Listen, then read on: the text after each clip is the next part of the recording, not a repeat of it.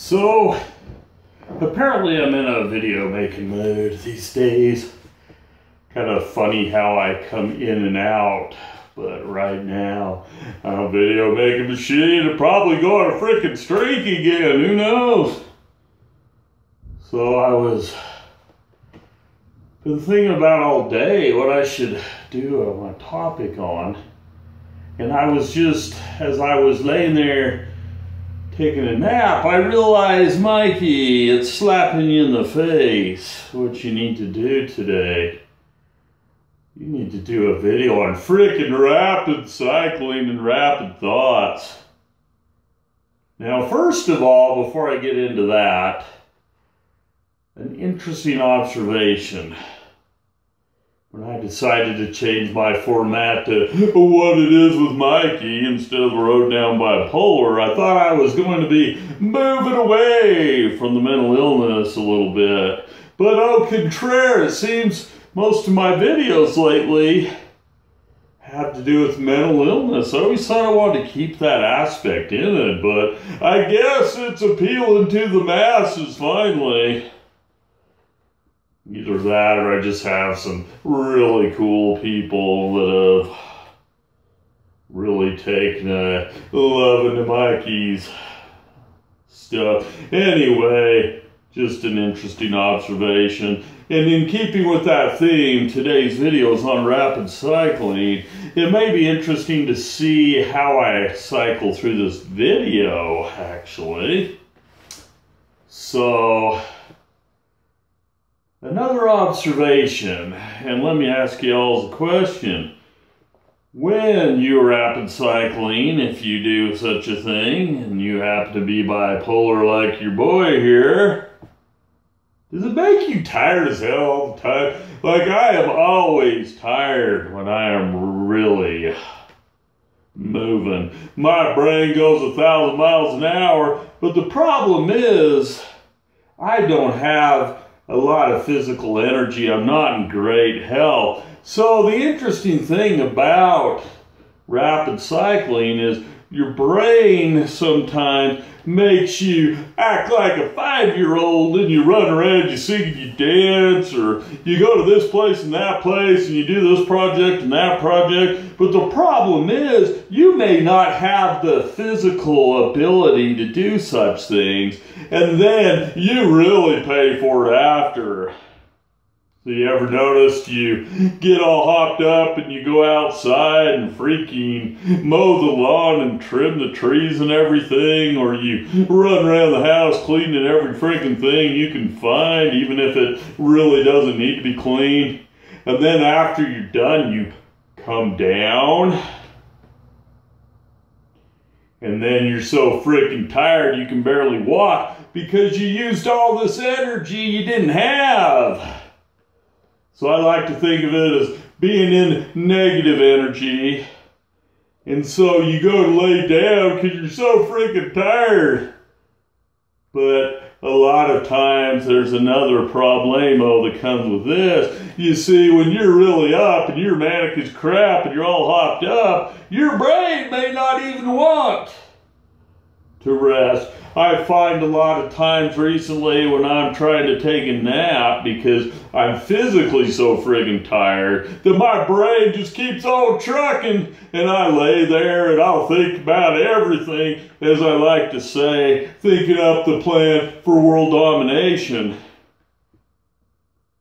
So I roll back and forth as I'm thinking about why does this happen? Why does that happen? Why do I have to do this? Why do I have to do that? Why do I have to go there, here? Why do I have to go there? Why?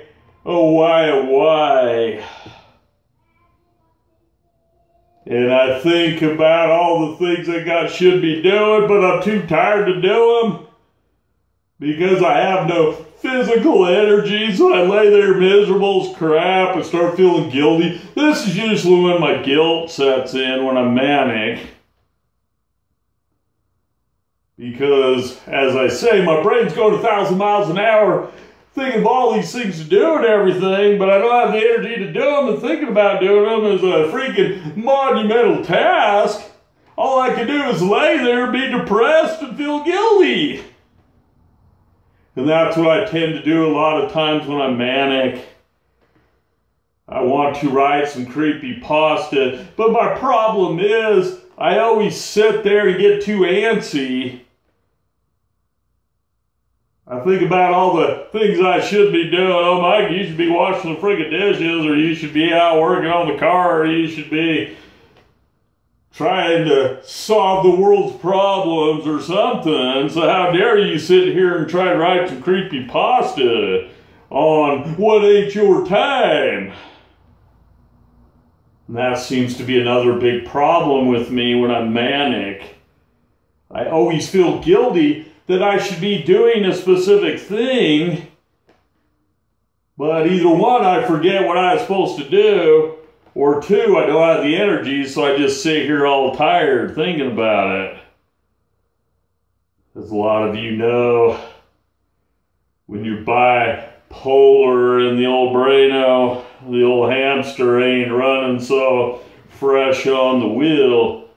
You can think and think and think about all the things you gotta do, but you just can't freaking do them. So you end up doing nothing that day. Then you feel guilty as hell for the, that night while you're laying there thinking about world domination instead of going to sleep, and it's half your problem. If you get sleep, you can't have the physical energy you need to do things, but the next day comes, then the rapid thoughts come in, and your brain's going a million miles an hour, so you go to take a nap, but you can't sleep, so you just lay there miserable. It's a vicious cycle. It goes over and over and over and over and over. And so then you're sitting there going, I love the creativity. I love that I can write all these books and all this crap. I love that I can remember the songs, remember the lyrics, remember the words to every freaking movie I watch.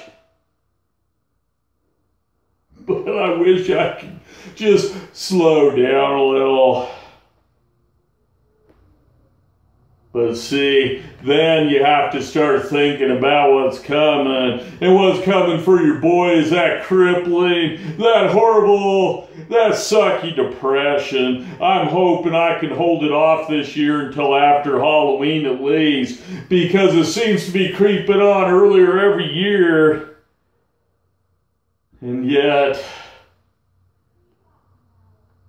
oh, I just hope I can make it. I want to do so much stuff for Halloween, but the problem is, if I have rapid thoughts and everything's going woo in my brain, I may not be able to concentrate on what I want to do for Halloween, and it'll come and go as it has in years past. Uh, okay, for instance, I have a Christmas village I used to put up every year. I have so many pieces for it that it takes a decent sized table to get everything on it. There's probably a couple hundred dollars invested in that sucker. And I took so much pride. I love making that thing up. I change things up a little every year. Put this little guy that's holding the ladder here. And I put the little dog there. And I put the little dog, the little deer over here. And Santa Claus over there. And each year I'd switch it up a little. I'd be so proud of my display. But then the kids started getting into it because they were little and knocking things over. And then we got dogs and they started dominating my little village world. So I started making excuses for myself why I couldn't put it up the next year. And it's been about five years now since I put it up. I'm kind of pissed at myself because I haven't been putting it up. But it's getting to the point where thinking about putting it up is getting more tiring than putting it up. And that's where depression sucks. As you guys could probably tell, I'm running at a million miles an hour today. I thought rapid thoughts and rapid speech rapid cycling was a good video for the day to show you all that I can't stop and I'm so freaking tired. All right, guys. I'm gonna try and leave it at that. You know, we'll probably make another video in an hour. I have no idea. But I hope y'all good. and I hope you taking care. And it's what it is with Mikey, and what it is is freaking rapid thoughts. All right, guys. Talk to you later.